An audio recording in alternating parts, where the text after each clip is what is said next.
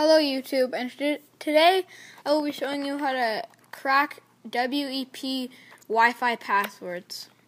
What you're going to want to do first is go into Cydia.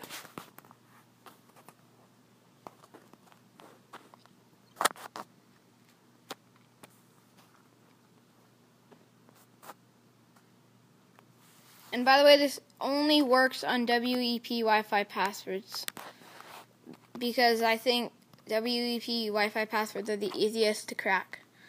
So after Cydia loads up, you're going to want to go into the search tab and search for something called 5D Wi-Fi.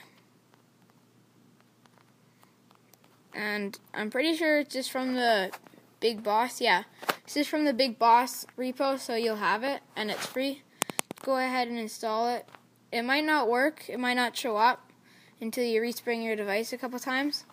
But after it shows up, you're just going to want to go into it. And it'll basically show you all the Wi-Fi passwords around you, or all the Wi-Fi names.